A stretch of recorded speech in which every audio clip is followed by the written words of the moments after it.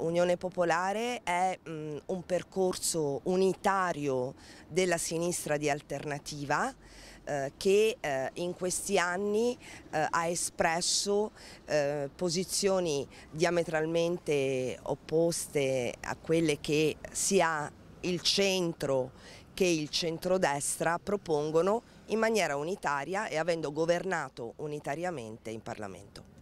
Si presenta così Daniela Ruffini, capolista alla Camera di Unione Popolare nel listino proporzionale per il collegio plurinominale Veneto 2. Ricerca della pace e lavoro i cardini del programma. Intanto ehm, tentare eh, con convinzione e con eh, eh, coraggio la strada del negoziato per fermare questa guerra, quindi l'applicazione dell'articolo 11 della Costituzione e fermare la guerra. Un secondo punto importante è quello del reddito e del lavoro quindi noi proponiamo eh, il superamento di tutti quei contratti precari che eh, negli ultimi dieci anni hanno sconvolto e precarizzato la vita delle persone e proponiamo un salario minimo che sia di 10 euro all'ora e che permetta alle persone di vivere dignitosamente. Queste cose si possono fare.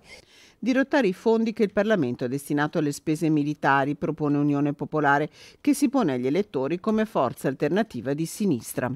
Questo Parlamento ha votato tutto, dalla legge Fornero al Job Act, eh, alla riforma, alle, riforme, alle riforme economiche, alla guerra, all'invio di armi in Ucraina.